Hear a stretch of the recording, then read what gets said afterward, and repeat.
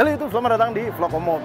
Sekarang kami berada di boothnya Daihatsu untuk ngecek beberapa hal, termasuk salah satu di antaranya adalah mbaknya hilang. Mbaknya, mbaknya, ah iya mbaknya ngumpet. Eh, mbaknya mau main game boleh sini ya? Boleh. Oh, di sana. Eh, oke, kita ke sana. Oke, di sini kami akan registrasi dan mencoba game-game yang ada pada booth yang meriah ini. Salah, registrasinya sebelah sana. Tuh di sini. Hai, hai.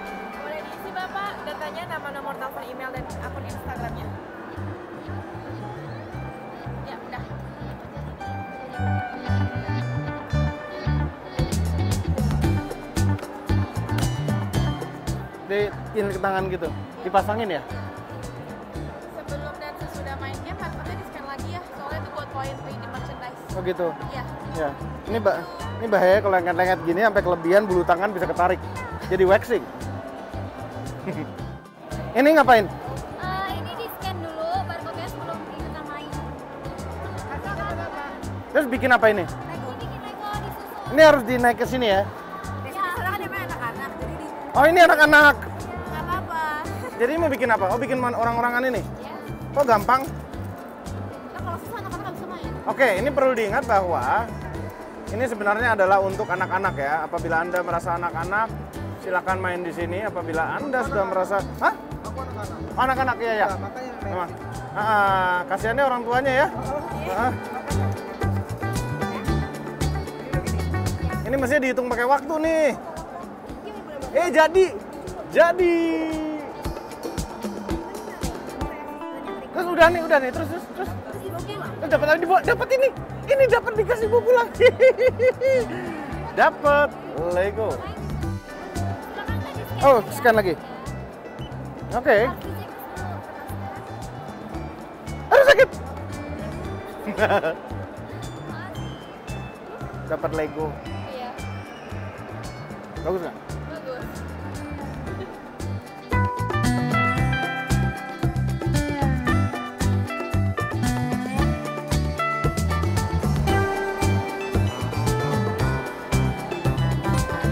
Kacamatanya lupa.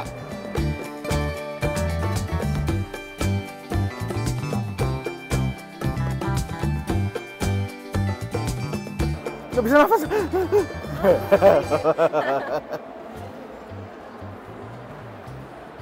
Kerennya kayak beneran. Iya.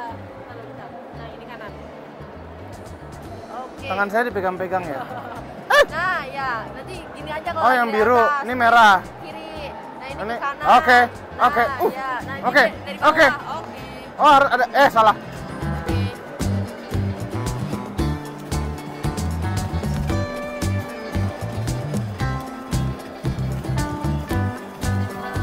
Ini diapain kok temboknya?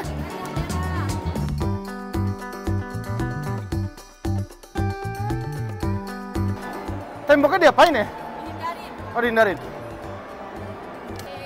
Dah, yeay.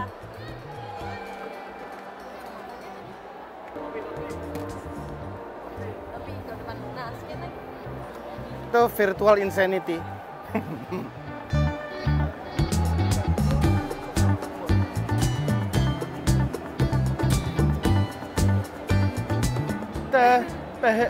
Happy birthday ya. Iya, terima kasih. Loh, kamu ulang tahun, selamat ya.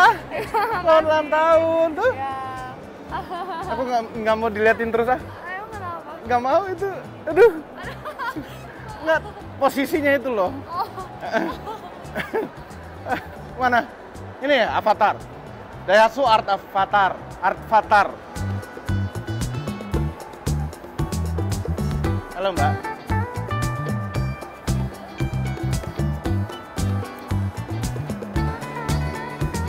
Oh mau warnai ini?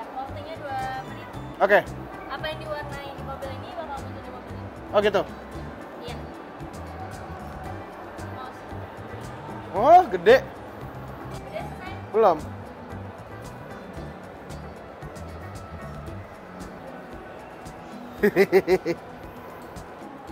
Terus bisa digedein. Ah, Ini juga ada. selesai.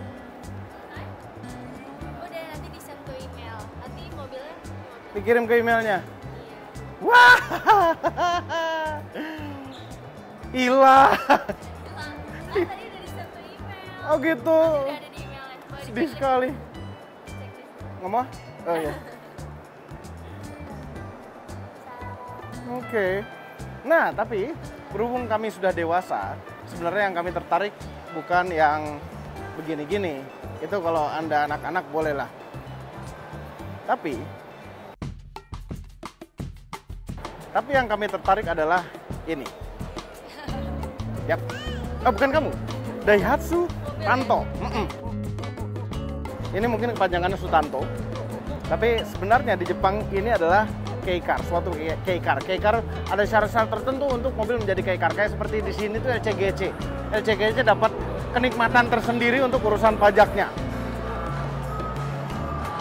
Risik gitu sebelah tiba-tiba. Namanya siapa? Veronica. Veronica. Kamu kerja di Telkomsel nggak? Enggak, kebetulan. Nggak, nggak pernah kerja di Telkomsel. Iya.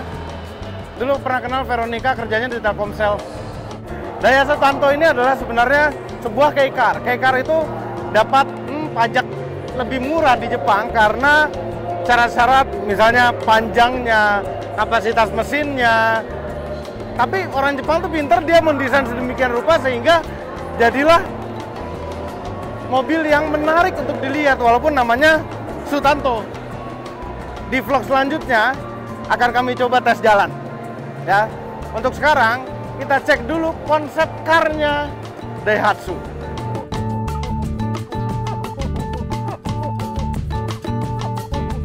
Ini adalah Daihatsu Haifan.